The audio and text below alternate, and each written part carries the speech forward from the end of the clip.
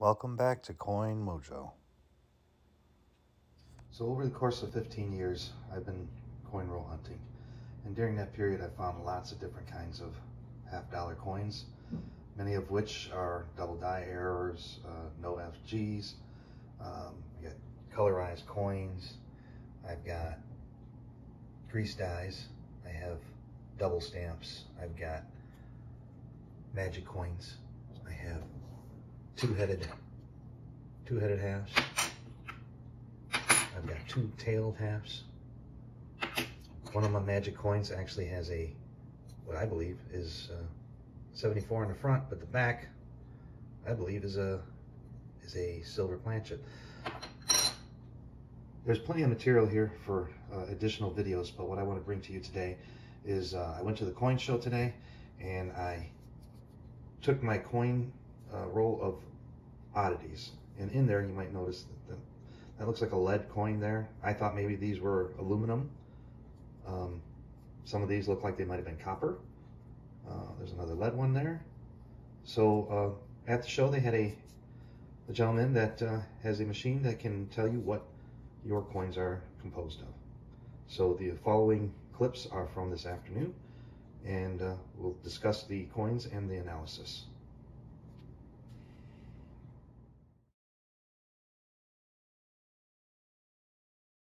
I'm Mark Benvenuto, and I certainly give you permission to use what I'm saying here and what we're analyzing here on YouTube or any other social media or whatnot channel. So what we have is a United States Kennedy half dollar in the XRF analyzer, and we believe that it might be made of lead because it seems to feel different than the others. So press the trigger, take a look at the PDA readout. I know that's a little old-fashioned nowadays, but notice that there's two relatively equal large peaks there. If this thing was just copper nickel, like a proper half dollar should be, you would only have one peak and maybe another sort of overlapping it.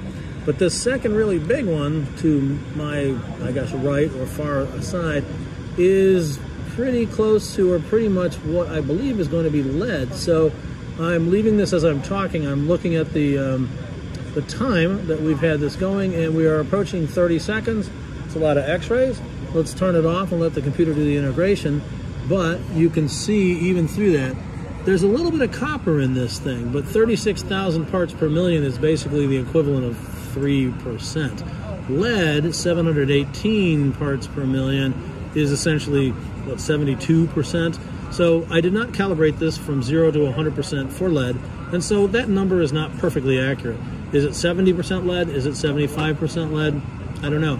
But the simple fact that it's made of lead probably indicates that somebody who made it did not exactly use lead directly from a scientific supply house. They probably got lead from a scrapyard or something like that, which would be a good reason, but there's other metals in there. So Can we show it. them the coin? Yes, let's show them the so coin. what we have is a 1979 Kennedy half dollar. That is predominantly made of lead. Get the light in there? Okay. How about like that? Yeah, let's get a zoom in on it. Yeah, so would you like me to turn it over? Sure. And turn it over? I mean, it's...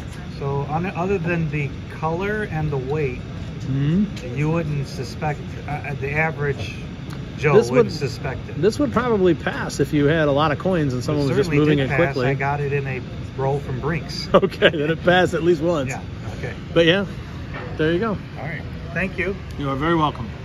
Thank you so much.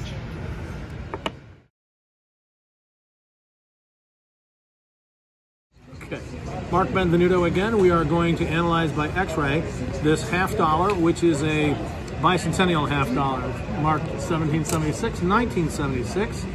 We are not sure what it's made of, but suspect it might be counterfeit. So we've put it in the XRF chamber. We are now analyzing it. The spectrum has come up, this black box at the bottom, and shortly we'll get some readings as the PDA integrates this as to what it happens to be. And right off the bat, it has a little bit of copper and almost entirely lead. And we do have two really big peaks, as well as this small peak up here, that are indicative of lead. Having run a bunch of lead objects over the course of years, after a while you get to know where they ought to show up. We'll let this go for 30 seconds. We're at 25 seconds right now. That should give us enough peaks that when we turn it off, like right now, we'll let the computer integrate it and see what it comes up to. In that time, I will take the half dollar off. Can you see that?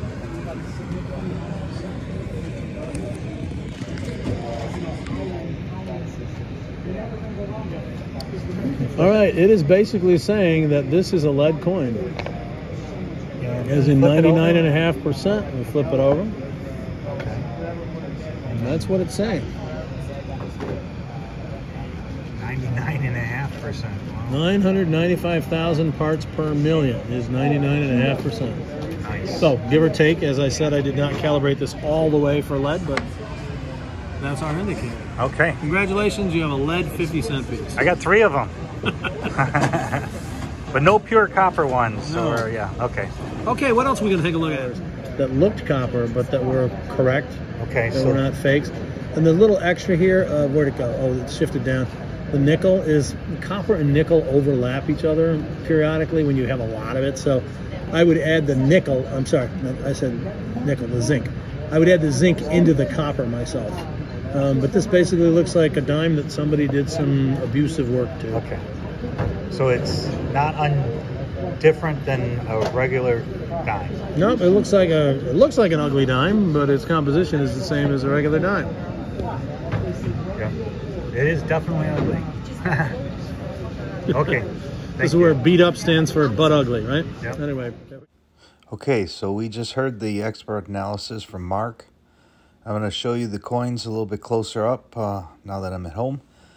Uh, this is the first one we measured, and it did come out as a lead coin. As you can see, the back's pretty is worn flat, smooth. This is a 74, I believe, 79. This one came out um, to be also lead. You can see on the edge. Uh, I just want to take note the coin did not appear to be different from a uh, regular Kennedy half, and you know, so I was a little bit stumped by it. This bicentennial it looks pretty clean. It didn't have a lot of nicks or dents in it. Uh, the edges weren't worn too too smooth. Um, as you can see, the other two were pretty tattered edges were worn fairly smooth. And uh, so those were the three that we, we had in the video with Mark, and this is the dime. And uh, when I first saw it, it, it looked copper. I didn't want to wash it, clean it, scrape it, or anything. I, I wanted to get this ana- analyzed. I actually uh, met Mark back in February of 2019, and I didn't have my coins with me. Uh, so we were going to meet up at the next show, and of course, COVID struck, and then I didn't get a chance to uh, to get this until now. So I've had these uh, assortment of uh, Kennedy halves that had partially looked like you know the back half of the clad was missing. This one was uh, partially chipped, and you can see there's some anomalies in the edge there. Um, I personally feel like this is missing part of the planchet. Uh, the first one looked like the the entire half of the planchet was missing, or not the planchet, but the cladding. Uh, Mark couldn't advise me on any of the, you know, the possibilities of whether or not these were uh, bad planchets or not. Wasn't really his expertise. His expertise is in metal analysis, and um, so he was able to determine that these coins, at least on his XRF machine, did not come across as anything different. He did say that they they had a heavier content of lead, or not lead, but uh, these uh, had more copper. This one did not come out to be anything nor uh, outside of the normal range for a clad coin. So I'm guessing that maybe these were just uh, they were either dipped or shellacked or you know I we speculated that maybe maybe it's just uh, coated in varnish or something gave it that brown now these i thought were actually uh, silver or aluminum because they they're pretty bent up um, but they didn't appear they may just very well be painted because uh, these did not come across as anything uh, at least molecular uh, to be anything different than a normal planchet Um, I had this 64. I wanted to show you how it, you know, how it stumped me because uh, I kind of edge search when I do my coin roll hunting. And ironically, uh, I didn't realize that I grabbed a two-headed 64. I didn't, I, I, I, know I had this, but I, I forgot about it. so there's a two-headed uh, 64, pretty cool.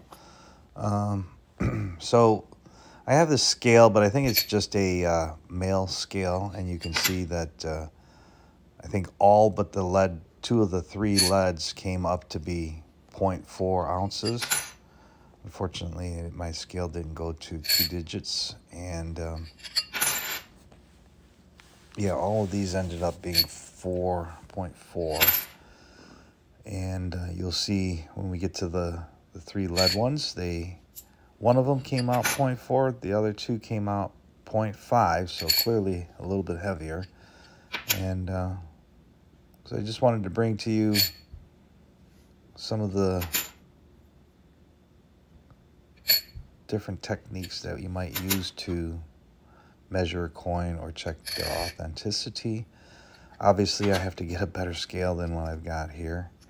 Um, so again, these are the three coins. Uh, the first one did come up as uh, 0.4. Uh, this one came out at 0.5. And let's take a closer look at it.